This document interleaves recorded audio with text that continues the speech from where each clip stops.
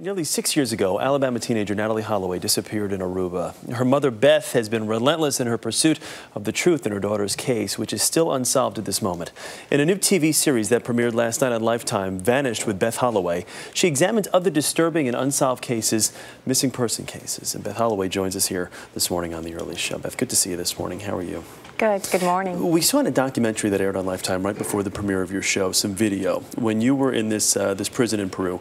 Um, you went to go see Joran van der Sloot there. And first, I, I, guess, A, what was behind the decision to go see him? And B, did you have did you have it scripted in your mind what you would say to him if you did in fact get a chance to see him? I never could have never could have imagined that I was going to be face to face with Joran in prison. Um, opportunity presented itself, and I think as all parents of missing loved ones will do anything and everything, and um, I decided, okay, I want to I want to be face to face with him again. How were you able? To, I mean, he is in this prison in Peru. From all reports, it's this secluded, violent denizen where he's kind of just being left to wallow for the rest of his years. How did you get to this to this spot to be right in front of him like that? Well, I did have some of course, help from Peter DeVries and his team. And, and I entered the prison just like every other woman that afternoon. It was Wednesday afternoon, ladies ladies' day, and I just went through the proper protocol, and um, and it just uh, it just happened. Yeah. Did he was he able to say? Were you able to glean anything from talking to him? Did he?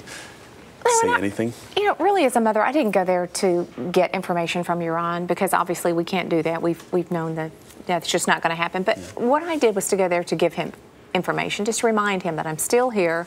Obviously, I'm not going anywhere, and I think to show him how easy it was for me just to walk in and be face to face with him. And what felt, I think, the best for me is when I walked out of there and left him in prison where he belongs. Yeah. Any doubts in your mind? I know you probably think about it every minute of every day. Is there any doubt that that potentially Natalee is still alive?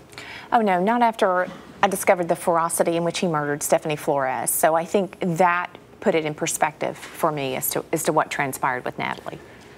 Did it take a long a long time for you to kind of come to that that realization, especially after mm. hearing that case with Miss Flores?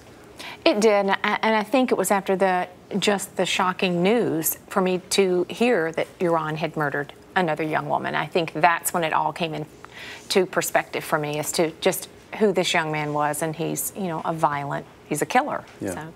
To do a show like this, I think some would think, oh God, why would she want to put herself through that? Because now you're hearing about all these other people and, and the, the torment and the torture that they have to go through, and it would kind of continue to surface feelings that you have, but you didn't feel that way. You, this is something you embraced and wanted to do.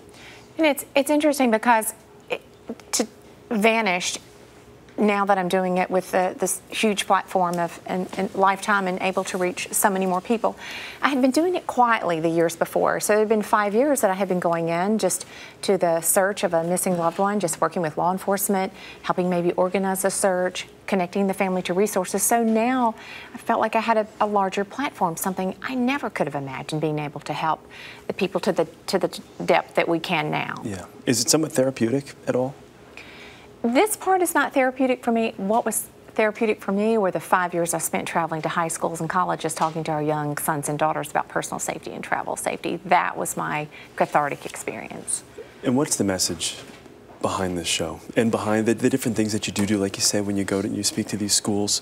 What are you trying to get across to these kids? Well, it's, it's interesting because within every vanished episode, there is a message of, of, of travel safety, personal safety, whether it's something as simple as what we think as parents is the buddy system or bringing your plans full circle, which is how do you want to end your outing at night. So those messages are there. That's the, the ones we've taught our children all their lives. But I think that they are now in such a powerful format. It can open up conversations with your young adults of, you know, choices to make. So, you know, those are what I deliver to the high school podiums too. Well, Beth, we appreciate you coming in and talking with us this morning. Thank, Thank you. you.